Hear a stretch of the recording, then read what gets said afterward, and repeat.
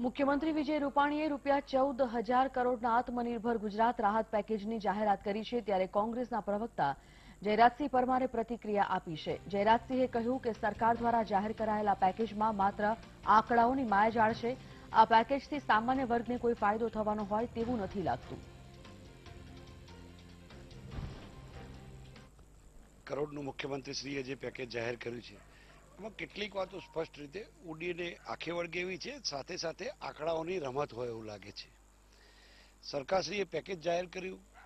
Corona ટેન્યોરમાં જે મુશ્કેલી પડી છે લોકોને, તો તમામ વર્ગને મુશ્કેલીઓ તો પડી છે.